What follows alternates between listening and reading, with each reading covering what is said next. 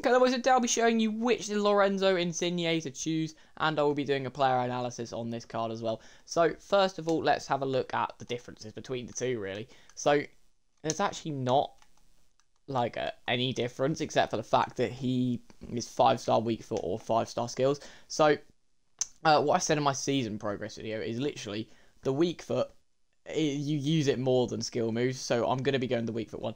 And think about sort of what skill moves you use as well. You know, I mean, like step overs are the most metas, ball rolls, stuff like that. It's all done by two star skills. You when do you find yourself in a game using a skill that is classed as five stars?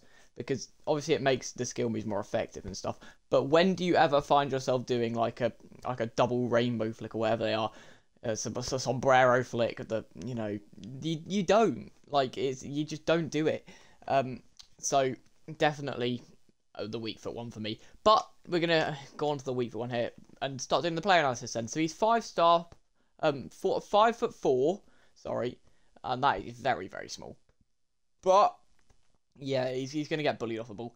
Uh, he's high medium work rate, right footed and explosive so he can play left wing on left mid, and he's right wing. So yeah, definitely that weak foot comes in more clutch there as well, considering you can then um, actually have an option whether to cross the ball a bit better. Uh, in terms of Lincoln, we have to find some MLS players though, which could be a, a bit difficult, but uh, you know there is MLS players kicking about since Messi moved there.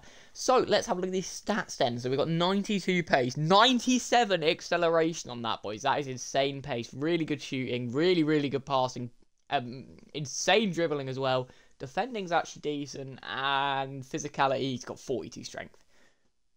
So the 5 foot 4 and the 42 strength are the only negatives. This is a really good card nonetheless.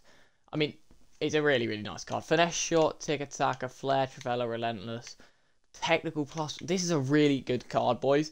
Obviously, yeah, just work towards this and then try it out in your team because it's actually a really nice card.